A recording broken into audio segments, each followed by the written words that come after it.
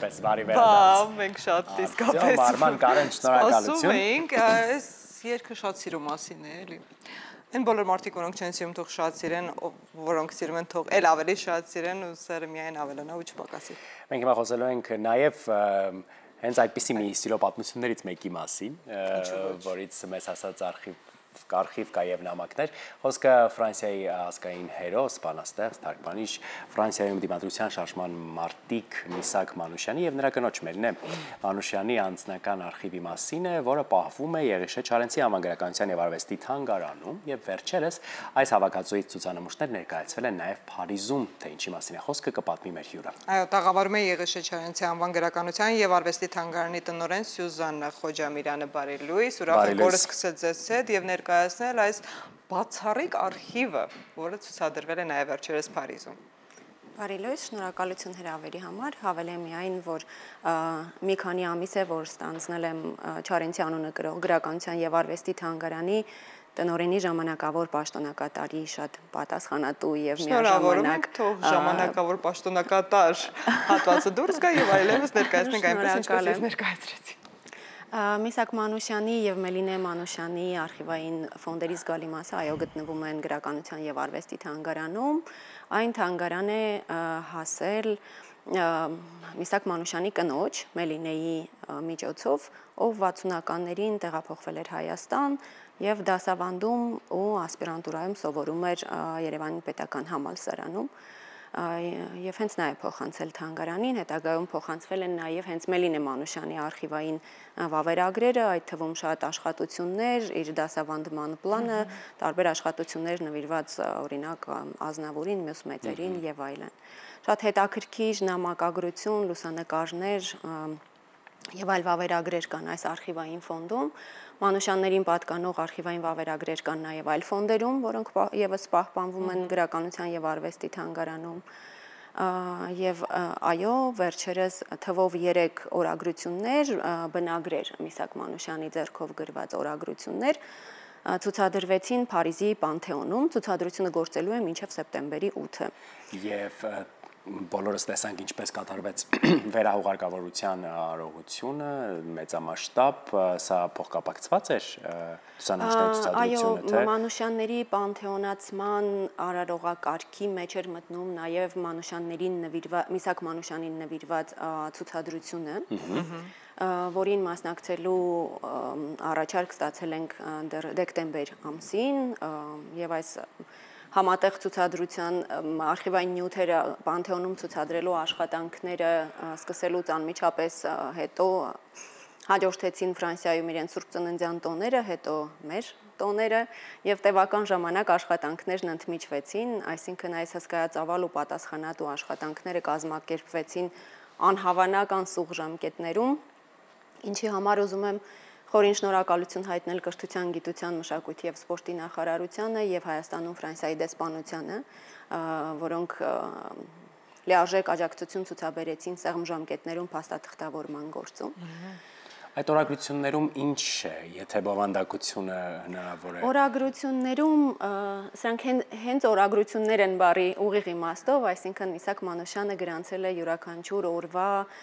եւ մոտակա ժամանակների իր խոհերը, մտադրությունները, ապրումները եւ այլն շատ բարդ էր ընտրել թե որ էջը պիտի ցուցադրվի օրագրությունների, դրանք թվով 3-ը չեն, պարզապես 3-ն են ցուցադրվում։ Եվ ինչպես ընտրվեցին այդ 3 էջերը շատ երկար բովանդակության մասին խոսենք ինչ է ներկայացված հիմնականում օրինակ այն ձեռագրերը որտեղ ավելի հայատար էին իսկ Միսակ Մանուշյանը գրանցել է եւ ֆրանսերենով եւ հայերենով ավելի էմոցիոնալ ֆոնի ավելի իր հոգեկան ապրումների մտորումների վերաբերյալ նշումներ էին Ցուցադրությունը շատ մեծ արձագանք, բուրըն արձագանք առաջացրեց իսկապես, ընդհանրապես երկրորդ օրվա առաջին կեսի դրությամբ ըստ վիճակագրության տվյալների ցուցադրությունը դիտել էին ավելի քան 10000 այցելուներ, իսկ սա իսկապես լուրջ թիվ է։ Եվ մինչև սեպտեմբերի 8-ը կարծում եմ թիվ կազմի միլիոնից ավելի։ Միանշանակ։ Բայց խոսենք նաև Երևանի այո թանգարանում պահվող։ Շարունակեմ Ֆրանսիայի ազգային հուշարձանների կենտրոնի հրավերով մասնակցեցի նաև հենց վերահուղարկավորության արարողությանը պարզապես հնարավոր չէր առանց հուզվելու եւ անսահման հպարտության զգացողության ներկա լինել այդտեղ փառահեղ արարողությանը։ Մենք շատ խոսել ենք այդ օրվա մասին եւ նաեւ ուղիղ եթերում հետեւել ենք եւ արարողությունից անմիջապես հետո պարզապես սա կարևոր փաստ է կարծում եմ նշենք, որ արարողությունից անմիջապես հետո Ֆրանսիայի ազգային հուշարձանների կենտրոնի միջամտությամբ հանդիպում ունեցա Ֆրանսիայի նախագահ պարոն Մակրոնի հետ, կարճատև զրույց, որի ընթացքում ներկայացրեցի հակիրճ գրականության եւ արվեստի թանգարանի բովանդակությունը, որտեղ պահվում է եւ Միսակ Մանուշյանի արխիվային ֆոնդերը եւ ֆրանսիական դիմադրության շարժման մասնակից այլ հայազգի մարտիկների ֆոնդերը։ Դե խոսենք թանգարանի մասին այդ դեպքում։ Ավարտեցինք։ Թանգարանում գրականության եւ արվեստի թանգարանը հավաքական թանգարան է, թանգարանների ընտանիք, քանի որ Այն ունի ներառում է մասնաճյուղեր, գրականության եւ արվեստի թանգարանի մասնաճյուղերից են Գորիսի Աքսել Բակունցի տուն թանգարանը, Անդեսեղիսի Հովանես Թումանյանի տուն թանգարանը,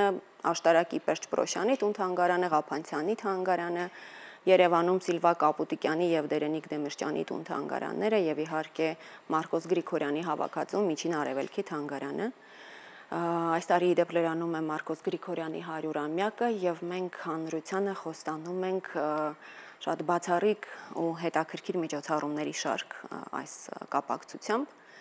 Եւ քանի որ գրականության եւ արվեստի թանգարանում պահվում է ավելի քան միլիոն ու կես թանգարանային առարկա, որը ներառում է 1200-ից ավել անուն արխիվային ֆոնդ, սա հայ իրականության մեջ ամենամեծ արխիվային թանգարանային հավաքածուն է, Բնականաբար բոլոր հոբելյանական միջոցառումները ուղիղ առնչություն ունեն հենց թանգարանի հետ։ Իսկ մենք գիտենք, որ այս տարին շատ հոբելյանաշատ է, Ազնավուր 100, Սևակ 100, Փարաջանով 100, Կոմիտաս եւ Հովանես Թումանյան 155, Աքսել Բակունց 125 եւ այլն եւ այլն։ եւ բարբերաբար անդրադարձներ կլինեն ու շատ հագեցած է տարին լինելու միջոցառումներով ու ցուցադրություններով։ Առաջիկայում առաջին ցուցադրությունը կամ միջոցառումը ո՞րն է լինելու։ Առաջիկա ամենամոտ միջոցառումն այսօր է, Կոմիտաս Խարյակի հոբելյանական միջոցառումների շարքը մեկնարկում է հենց այսօր ժամը 4-ին։ Սիրով հրավիրում եմ հաշվի առնելով ժողովրդի հանրության սերն առ այս թանգարան, մենք որոշեցինք, որ այսօր մուտքն ազատ է, որտեղ հանդիսատեսը կարող է լսել բացառիկ համերգ եւ ծանոթանալ կոմիտաս Խարյակի երկար պատմության, իսկ Խարյակի արխիվային ֆոնդերը եւս գտնվում են թանգարանում։ Մանուշյանների հետ կապված ցուցադրություն կա արկա թե ֆոնդերում եւ արխիվներում են հիմնականում պահվում այս բահի դրությամբ ոչ, բայց պատրաստվում է ցուցադրություն նաեւ հայրենիքում, կցուցադրվի նաեւ Լայերտ Վաղաշյանի Միսակ Մանուշյանին նվիրված ֆիլմը, եւ շատ բացառիկ հետաքրքիր նյութեր։ Իդեպ մենք նաեւ առաջարկ ենք ստացել Փարիզի ցուցադրության արձագանքի արդյունքում, առաջարկ ենք ստացել ավելի լայնածավալ ցուցադրություն կազմակերպել Ֆրանսիայի երկրորդ քաղաք համարվող Մարսելի քաղաքային թանգարանում։ Այժմ գործընթացը բանակցային փուլում է, մշակվում է նոր ցուցադրության կոնցեպտ։ Իսկ հայրենիքում միանշանակ կլինի ցուցադրություն։ Իրականում մենք շատ